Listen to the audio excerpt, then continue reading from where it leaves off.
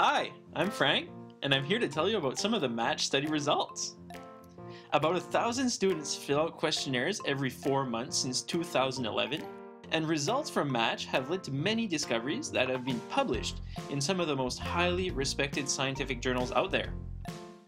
For example, Match researchers found that different people take part in physical activity for different reasons, including having fun, being with friends, feeling competent, to be healthy, or to look good.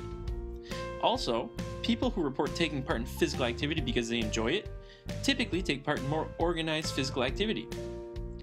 People who want to be active to improve their skills often take part in group-based physical activity and are more likely to attain the recommended level of physical activity every day.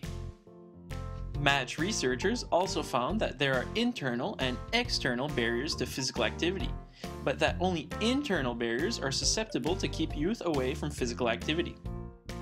Although Match researchers found that the proximity of physical activity infrastructures like parks, trails, or gyms did not appear to affect the maintenance of physical activity, they found that active commuting environments helped girls and boys be more active.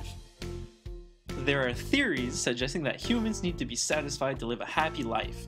For example, the theory says that one needs to have positive social interactions during physical activity and positive feelings of competence, as well as feelings of autonomy, such as being able to do what you want when you want to. Basically, matched researchers found that the more these needs were satisfied over time, the more active people were. Also, when physical activity increases as a result of better satisfaction of these psychological needs, we found that quality of life improves. And that is whether we think of quality of life from a physical or social perspective.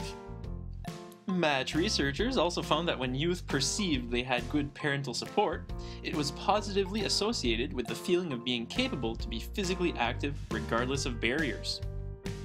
The team also found that children who take part in a wide variety of sports are more likely to pursue participation in physical activity as they become adolescents.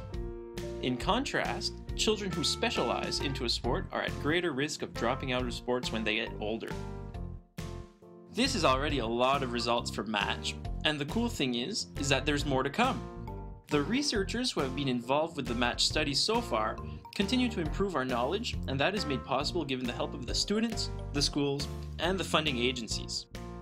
Don't forget to check us out on Facebook for more news on Match research.